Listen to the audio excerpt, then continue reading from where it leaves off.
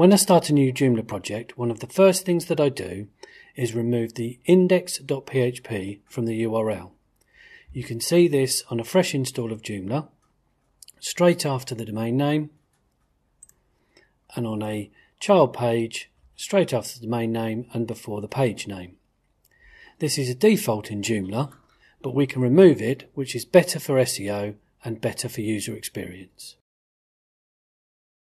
So there's a couple of things that we need to do to remove the index.php.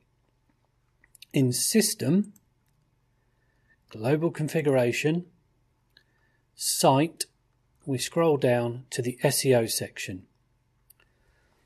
Search engine friendly URLs is on, which is great, but we also need to turn on Use URL Rewriting.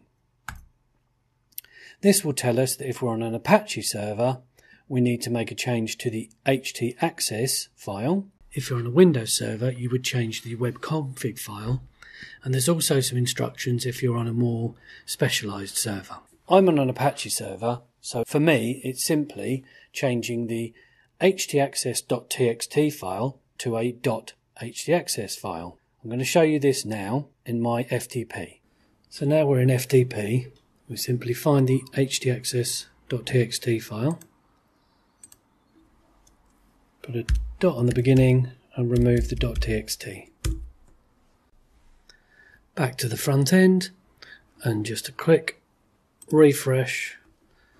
We've still got index.php there, but if we remove it, our page still works. And more importantly, if we go to the child page, that page still works and we no longer have the index.php.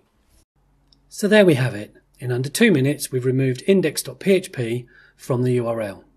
This makes the website look more professional, it's better for SEO, and it's better for a user experience.